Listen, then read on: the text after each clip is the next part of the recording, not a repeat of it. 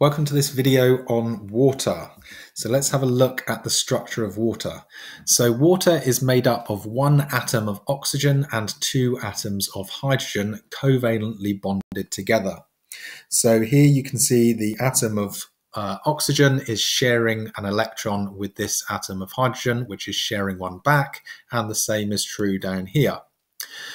Now, because the oxygen atom has more protons in its nucleus than the hydrogen atoms, the oxygen having eight and each hydrogen atom having only one, we say that the oxygen atom is more electronegative than the oxygen atoms.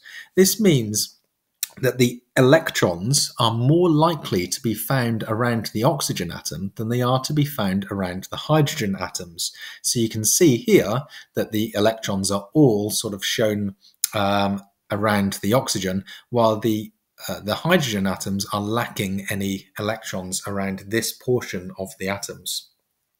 What this means is that the molecule becomes polar. That is, that it has an uneven distribution of charge. With the electrons more likely to be found around the oxygen atom, that means that the oxygen side of the molecule is more likely to be negative in charge, while the electrons being less likely to be found around the hydrogen part of the molecule, this means that the hydrogen portion is more likely to be positively charged. Now, these charges are not ionic in nature, they are not permanent. So we say that they are partial charges, and in fact, they are very, very weak charges. But we say that the oxygen side is partially negative in charge and the hydrogen side is partially positive in charge. Now, this property of water, this polar property of water, makes it possibly the most important molecule in the whole universe. And it's the reason that scientists, when they're looking for life, look first for water. So, why is it important? Well, it means that water can form hydrogen bonds. Hydrogen bonds are weak bonds that form between the partially positive portion of one molecule and the partially negative portion of another molecule. So you can see here a partially positive uh, hydrogen uh, part of this water molecule forms a hydrogen bond with the partially negative portion of this water molecule. Now, these hydrogen bonds themselves are very, very weak, but since we have hundreds and hundreds of trillions of water molecules in even the smallest bead of water, we have many, many hydrogen bonds. so these bonds in themselves are quite weak, but collectively become quite strong. So this polar nature of water and these formation of hydrogen bonds are important for a number of different reasons in organisms. The first reason is that the water becomes cohesive. So that means the water molecules stick to one another, form hydrogen bonds with one another. The cohesive nature of water means that water forms surface tension. So it forms like a skin across the surface of water. You might have noticed this when you fill a glass of water slightly too full and you anticipate it um, overflowing, but in fact, you get a little bulge on the surface of the water. That's because of the cohesive nature of the water holding it um, in the glass.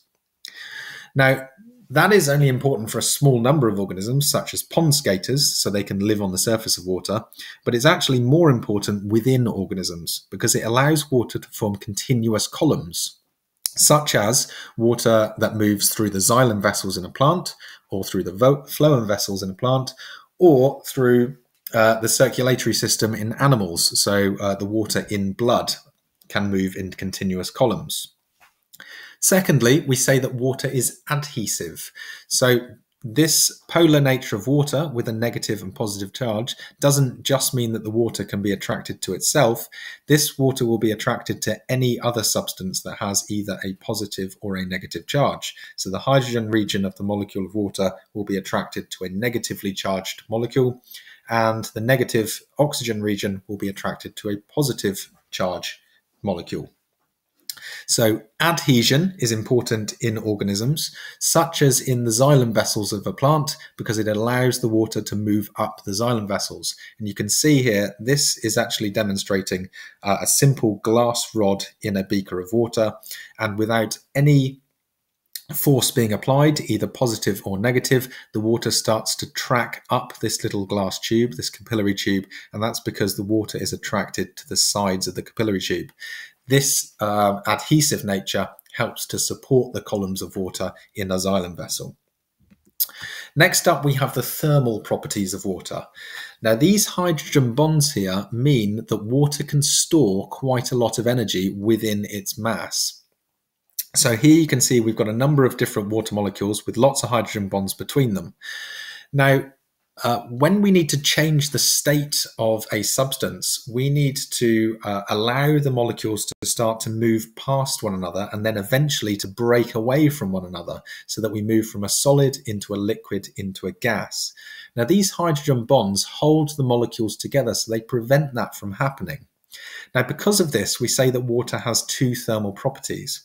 We say it says it has a high heat capacity and a large latent heat of vaporization.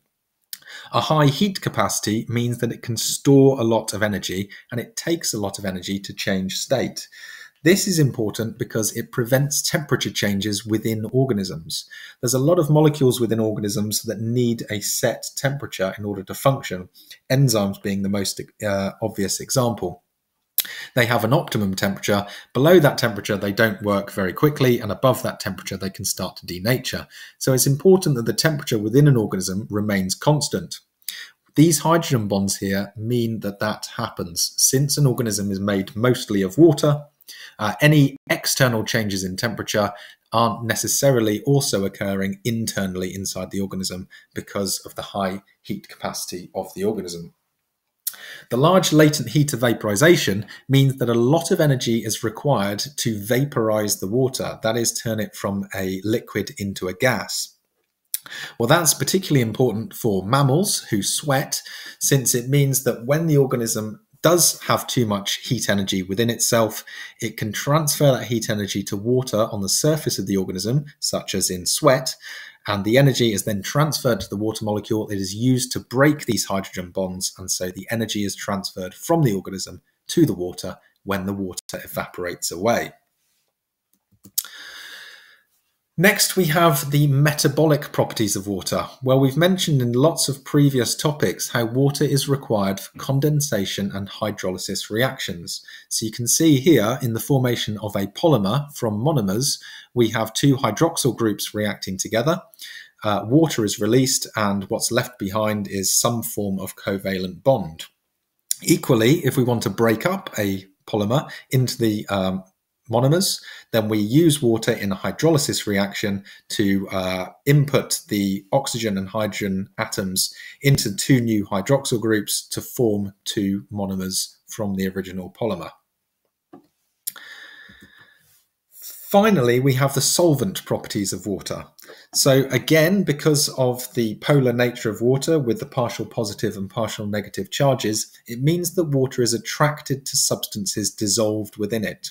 So in this example here, we've got some kind of ionic compound, which is made up of ionically charged negative and positive particles. And you can see here that the um, hydrogen side of the water molecules are attracted to this uh, negatively charged ion here. And the water side of the, uh, sorry, the oxygen side of the water molecules, the negatively charged portion of the molecules, are attracted to this positively charged ion here. Now, the fact that water can dissolve lots and lots of substances in it has given it the name the universal solvent. It can dissolve many things. Now, as well as being useful for transporting things, such as transporting ions, it also allows it to transport um, uh, other useful substances, such as the reactants and products used in reactions, and also the solvents and enzymes used in reactions. So it means that water can be used to transport things around an organism. So again, examples would be in the xylem and phloem of plants and in the circulatory system, uh, tissue fluid and cytoplasm in animals. Here are the key terms from this topic. Pause now if you want to write these down. Lots more free resources available on pxsbiology.com. And if you found this video useful, then please remember to like, subscribe, and share.